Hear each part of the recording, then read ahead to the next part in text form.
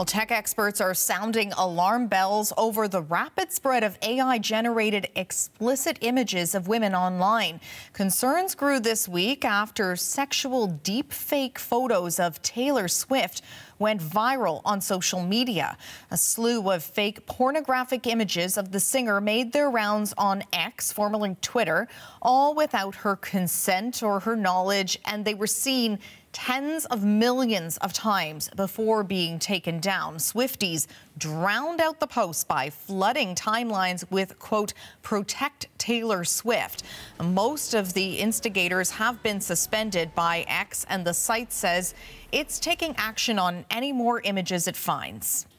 For more on this, uh, we're joined now by Ben Colman. He's the co-founder and CEO of Reality Defender, a deepfake detection firm.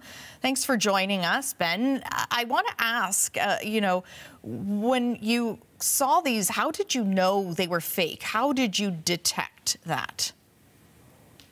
Well, unfortunately, we've seen these for many months. I think the only reason they're becoming topical is because they went viral on Twitter, on, on X. But these have been moving around the dark web and public web uh, for close to five months now. And what our platform, Reality Defender, does is detects AI generated or manipulated media, whether it's audio, video, images, or text. And this one was, was quite simple. Um, we are over 80% confident that this was a diffusion based deepfake. And diffusion is one of the more popular generative models.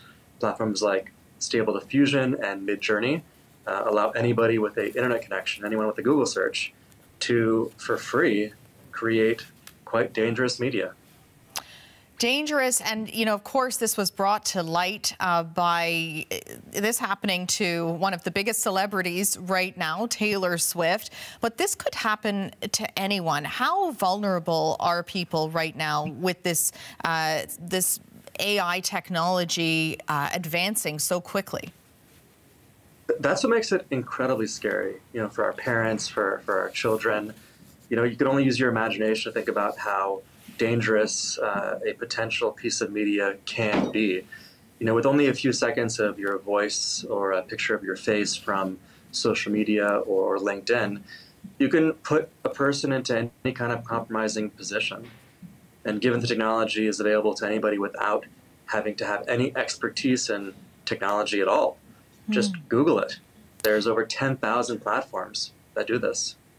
And we're hearing reports, you know, from police agencies as well, you know, that there are students in schools being victimized by this. Uh, there are uh, there's child pornography being made using this technology. There's also calls for you know, governments to do more, lawmakers to do more to crack down on this. How difficult is that? So the software, using it is not difficult. You know, uh, platforms can use our software today to identify a AI-generated image upon upload before it goes viral. The problem is, is that government regulations just don't exist yet.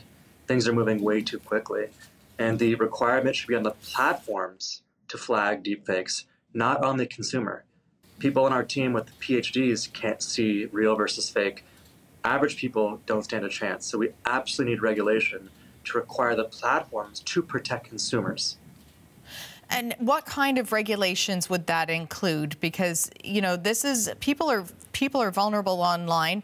You're hearing about you know people being bullied and things like that, and and it can go widespread so quickly. So when you talk about regulations, what does that look like? You know, taking a step back quickly, you know, we think AI has a lot of great great abilities. You know, things can, can, can be helped for everybody with AI. In this space, unfortunately, it's very dangerous. And what we're looking in other countries, European Commission, UK, Taiwan, Singapore, they've brought out regulations that at minimum just require the flagging of AI-generated media.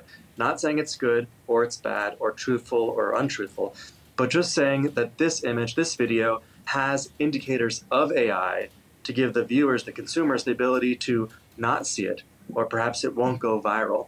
But again, in the US right now, we don't have any regulations. We're hoping that the next few months our current legislative teams will push forward with some minimum regulations. And in the next few months, of course, we could see major advances in this technology as well. Where do you see this going when it comes to how sophisticated AI is?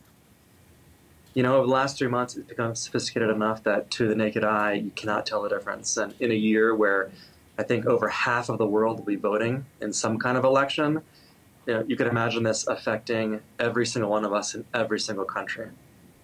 Well, time is definitely of the essence for sure, especially when you put it in those terms. Thanks for uh, explaining this to us today, Ben.